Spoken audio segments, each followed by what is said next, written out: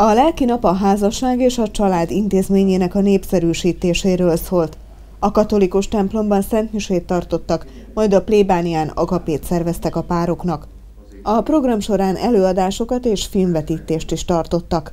Az egyház képviselői a konzervatív értékeket, a férfi és nő közötti szeretetet, az összetartozás fontosságát hangsúlyozták. Az elköteleződés az Istennek szól, de Istenben pedig egymásnak. Tehát ez valami olyan hatalmas kapocs, amely megerősíti az embert abban, hogy igen, az én házasságom nem csupán egy biológiai együttlét, amely bármelyik pillanatban felmondható, szétszakadható. Katolikus közösségünk ezt az értéket mutatja föl.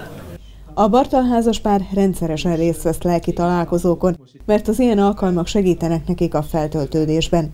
Vallásos nevelést kaptak, erkölcsös életet élnek, példát mutatva a gyerekeiknek.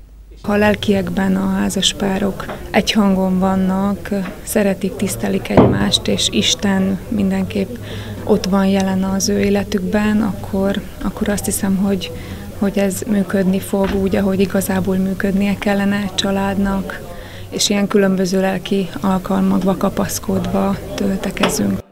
A Dunaszerdahelyi Esperesség ugyancsak a Szent László év keretében júniusban imanapot szervez a papi és a szerzetesi hivatásokért.